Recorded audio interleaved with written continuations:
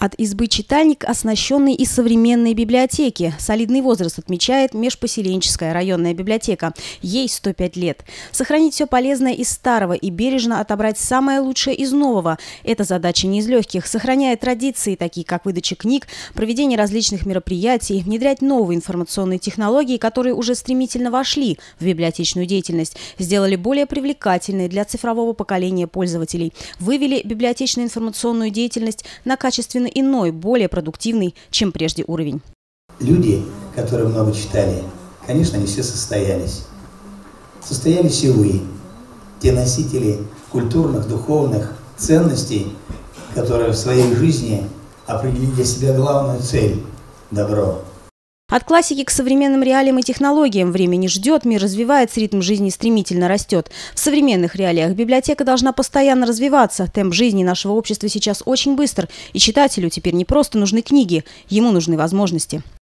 Библиотека наша является э, по своим показателям одной из лидеров Московской области. Те формы и методы работы, которые мы сегодня увидели э, в ежедневном режиме, проводится в жизнь. И хотелось бы сказать, что э, вы на сегодняшний день э, пример, как нужно работать, поэтому вас с праздником. Это юбилей, это праздник культуры, культуры, которую несете вы нашим жителям. Появляются новые формы работы, организация встреч с актерами и режиссерами, выставки проектов. Так, в рамках празднования 105-летия в Щелковском районном культурном комплексе была представлена выставка «Читающий город».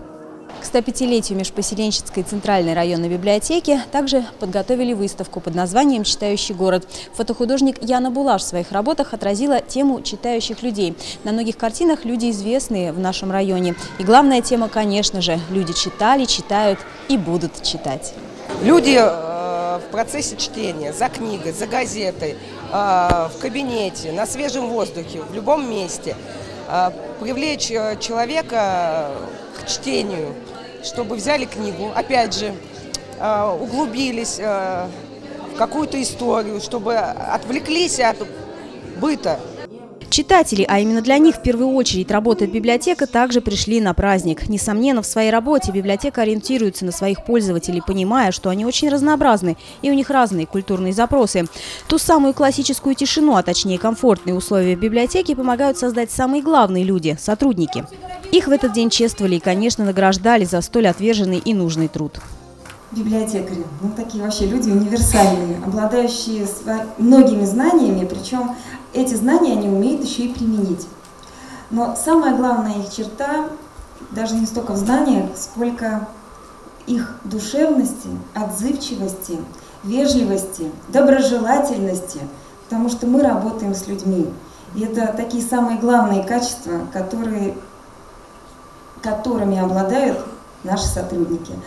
От прошлого к настоящему, от истории и уникальных архивных книг так называемого «золотого фонда» к современной литературе и технологиям. Книги и архивные документы определенно помогают найти нам ответы на многие вопросы. Но что совершенно точно и с уверенностью можно сказать, так это то, что библиотека – истинное царство информации и знаний, прибежище для одиноких и место встречи для друзей. Место, где можно не только пополнить свой багаж знаний, но и интересно провести досуг.